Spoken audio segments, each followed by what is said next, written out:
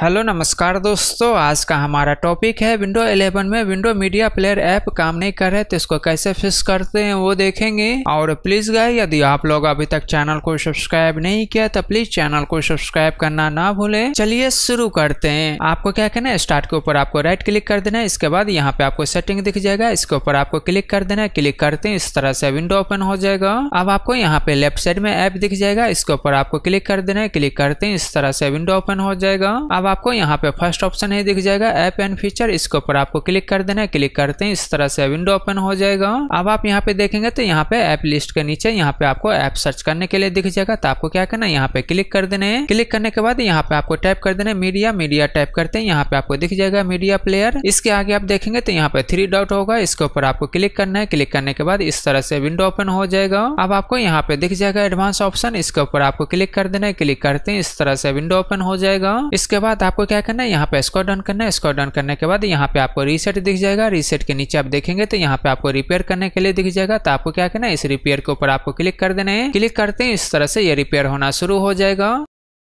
Complete होने के बाद इस तरह से यहाँ पे टिक मार्क लग जाएगा। इसका मतलब ये रिपेयर हो चुका है। अब आप चेक कर सकते हैं, आपका ये प्रॉब्लम होगा, ये प्रॉब्लम सॉल्व हो जाएगा। यदि मान लीजिए फिर भी आपका प्रॉब्लम सॉल्व नहीं होता है तो आपको क्या करना है? इसके नीचे यहाँ पे आपको रीसेट दिखेगा। इसके ऊपर आपको क्लिक कर देना है। क्लिक करते हैं, इस तरह से विंडो ओपन हो जाएगा। अब आपको क्या करना है? यहाँ पे रीसेट के ऊपर आपको क्लिक कर देना है। क्लिक करते हैं, इस तरह से ये रीसेट होना शुरू हो जाएगा। रीसेट कंप्लीट होने के बाद यहाँ पे भी इस तरह से टिक मार्क लग जाएगा। इसका मतलब ये रीसेट हो चुका है। अब आपको क्या करना है? इस विंडो को यहाँ से क्लोज कर देना है। क्लोज करने के बाद आपको क्या करना है? एक बार ज़रूर सिस्टम को आप रिस्टार्ट कर दीजिएगा।